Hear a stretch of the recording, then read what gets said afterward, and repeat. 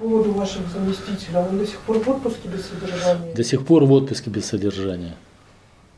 Решает вопросы, там, я имею в виду, там, э, то, что касается его там фирм, которых он уже там, ко- которые там не работают, но числятся за ним. Ну, к сожалению, законодательство такое, что вот необходимо. Но я думаю, э, в концу месяца или там в начале декабря это все дело, он там разберется со своими делами и будет работать. И вы успокоитесь.